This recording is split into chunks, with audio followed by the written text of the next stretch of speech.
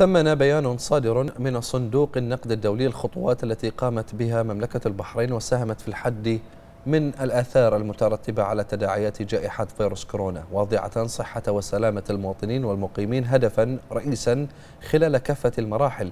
وأكد البيان أن التعليمات والقرارات الصادرة من الجهات المعنية القائمة على دراسة المستجدات بصورة دورية ساعدت في الحد من انتشار الفيروس وتوفير التطعيمات للمواطنين والمقيمين بشكل مجاني إلى جانب دعم الأفراد والشركات وإسناد القطاعات الأكثر تأثرا جراء الجائحة عبر ضخ السيولة اللازمة لمختلف القطاعات الاقتصادية الحيوية.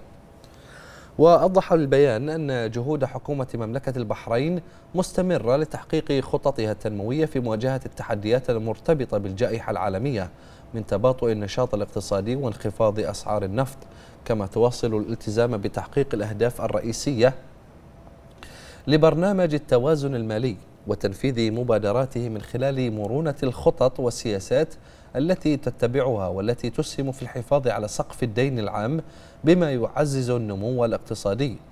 وأشار البيان إلى أهمية مواصلة مساعي زيادة خلق الفرص النوعية في القطاع الخاص وتعزيز مرونة سياسة العمل عن بعد. منوها في الوقت ذاته إلى أهمية مواصلة تعزيز دور القطاع الخاص كمحرك رئيس في العملية التنموية وإعادة رسم دور القطاع العام كمنظم وشريك بما يسهم في ترسيخ الشراكة الحيوية بين القطاعين تحقيقا للأهداف المنشودة.